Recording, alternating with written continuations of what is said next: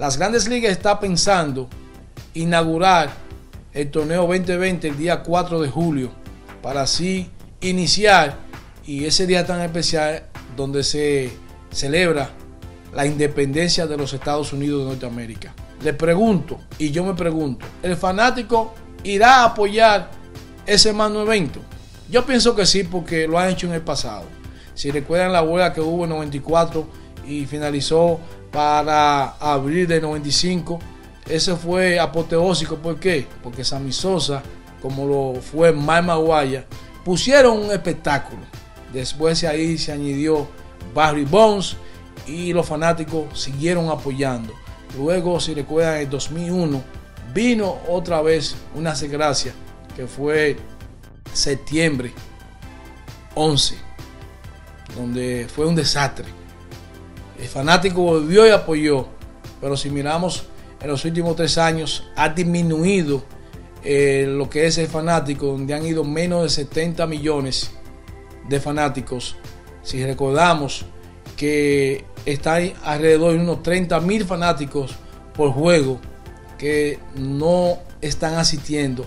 17 temporadas antes de eso iban más de 30 mil fanáticos, pero las cosas están cambiando, las cosas están sinceramente mermando para fanáticos que cada día más se está alejando del béisbol, pero vamos a ver qué va a pasar, que es lo más importante. Bueno, y otra mala noticia es que la serie que estaba pautada a jugarse en Londres quedó cancelada. Es decir, que ya no se va a jugar ese partido en Londres, donde estaba supuesto a efectuarse 13 y 14 de junio.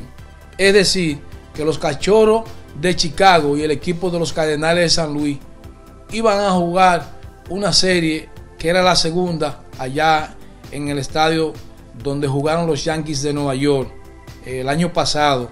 Es decir, que no va a ser ya pautada esa serie, fue cancelada por la razón de lo que está pasando con este eh, coronavirus. Entonces en, eh, los Yankees y los Medias Rojas de Boston hicieron un espectáculo en la fecha de 29 y 30 de junio, donde Nueva York ganó esos dos encuentros, dos partidos que fueron a batazo limpio.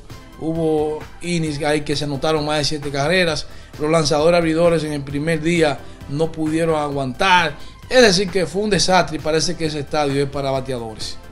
Pero las cosas no han finalizado ahí. ¿Por qué? Porque hay otras series también que están canceladas. Es decir, que la serie que se iba a jugar en México entre los padres de San Diego y los Arizona Diamondbacks también fue cancelada. Esa serie estaba pautada para jugarse el 18 y 19 de abril en el estadio Alfredo Helú.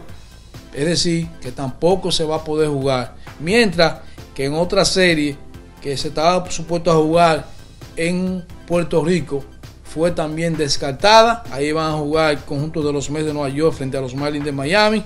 Es decir, que están canceladas toda esa serie. Esa serie se iba a jugar en Irán, Beaton, allá en Puerto Rico. Si recuerda, Puerto Rico en estos momentos, los juegos de las grandes ligas se le ha complicado, al igual que no se pudo jugar una de las patas del Clásico Mundial 2017. Pero vamos a ver qué va a pasar más adelante y quizás en el 2021 se puedan lograr. Hola mi gente, le habla David Ortiz, el Big Papi, para decirle que continúen en sintonía con beisboración.com.